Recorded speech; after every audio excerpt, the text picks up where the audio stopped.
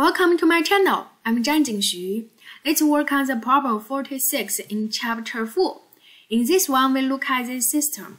And we know there is three objects A, B, C, and the external force F act on it to make the whole systems um, accelerate and then we as a whole. So in this one, um, we need to determine the acceleration for this system, the net force, and the force uh, between each other. So in first one, let's do the force analysis to draw the free body picture. So in this one, we can see, first thing we look at object A. For object A, we can see there must be gravity, agree?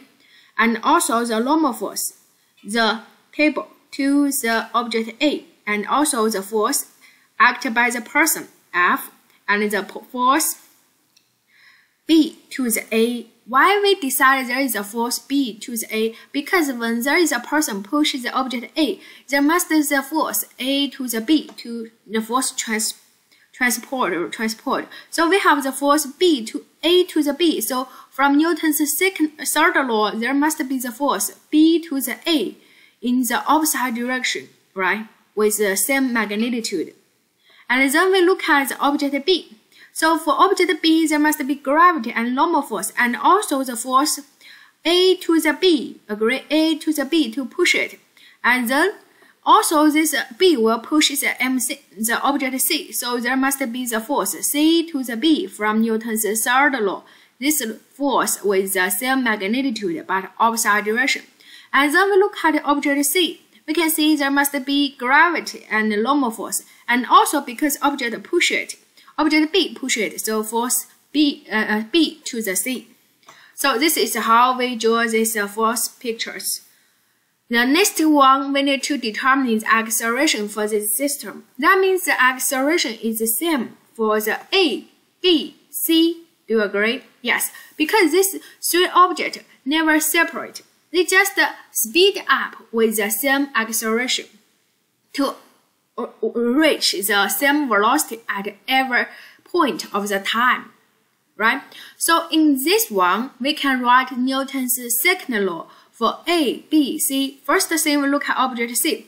At the horizontal, so the net force is FCB equal to the mass times acceleration. And then the net force for the B on the horizontal is FBA minus FBC equals mass b times acceleration. And then we look at object A. There is a net force is F minus FAB equals mass A times acceleration. So from this uh, Newton's second law, we write these three equations. The first problems. Can you find the acceleration for these systems? We have three equations. Can you find it? Sure.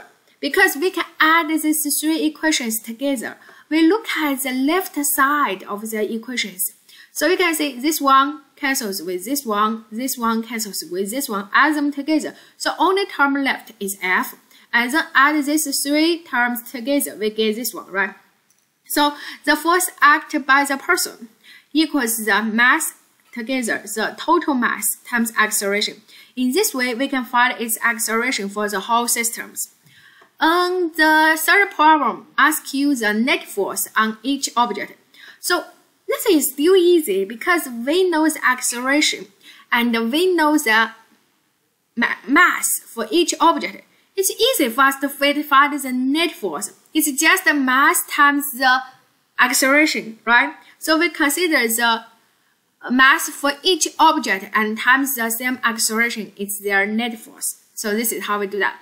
The next one, I want to ask you what is the force of contact force of each object. The contact force is FCB, FBA, these things. So you just, you can see, you can do this calculation very easy. First thing, how can we find the force FCB? Use mass C times acceleration. So we input this acceleration inside. We get this FCB. And also the force FBA, just the F bc plus mass times acceleration, mass b times acceleration, and then we input it. We find it, it looks like this way, right? So easy. The next problems tell you the quantities for the mass same, and the external for the external force F, the quantities is 96 Newton. Ask you to find the uh, number, num the number answer of the B, C, D. So in this one, we can see this is how we do the B and C.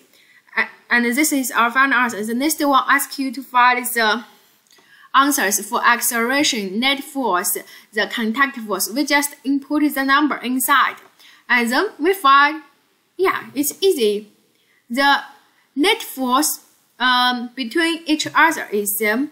And then the contact force for AB is uh, larger than the contact force be between BC, right?